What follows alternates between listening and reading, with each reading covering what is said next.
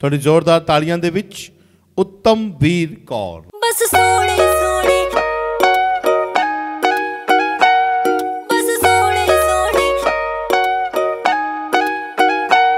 ਇੱਕ ਡਿਜ਼ਾਈਨਰ ਮੇਰੇ ਸੂਟਾਂ ਦੇ ਲਈ ਰੱਖ ਤੂੰ।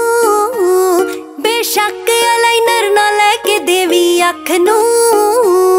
ਇੱਕ ਡਿਜ਼ਾਈਨਰ ਮੇਰੇ ਸੂਟਾਂ ਦੇ ਲਈ ਰੱਖ ਤੂੰ। ਬੇਸ਼ੱਕ ਲੈ ਕੇ ਦੇਵੀ ਅੱਖ ਨੂੰ। ਗੱਲ ਦਿਲ ਦੀ ਤੂੰ ਸਾਰੀ, ਉਹ ਗੱਲ ਦਿਲ ਦੀ ਤੂੰ ਸਾਰੀ। ਅੱਖਾਂ ਨਾਲ ਕਈ ਜੱਟੀ ਨੂੰ।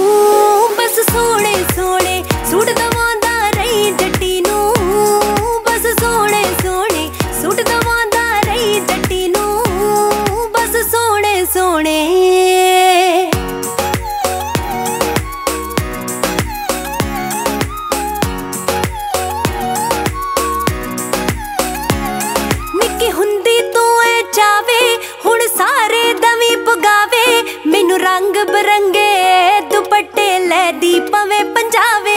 ਨਿੱਕੀ ਹੁੰਦੀ ਤੂੰ ਐ ਚਾਵੇ ਹੁਣ ਸਾਰੇ ਦਵੀ ਪਗਾਵੇ ਮੈਨੂੰ ਰੰਗ ਬਰੰਗੇ ਦੁਪੱਟੇ ਲੈ ਦੀ ਪੰਜਾਵੇ। ਲੰਬੀ ਕਾਰ ਮੈਂ ਨਾ ਮੰਗਦੀ, ਰਾਣੀ ਹਾਰ ਮੈਂ ਨਾ ਮੰਗਦੀ।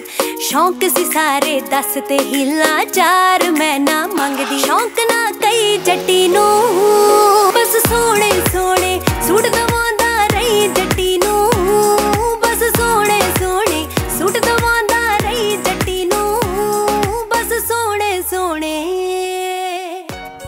इसमें के के एच डी इसमें के के एच डी इसमें के के एच डी के के एच डी है क्या? अरे आपको नहीं पता किसमें कितना है दम? दुनिया के सामने अपना टैलेंट लाने के लिए सबसे अच्छा टैलेंट जो है इनका नंबर क्या? Nine zero four one seven double three seven double three.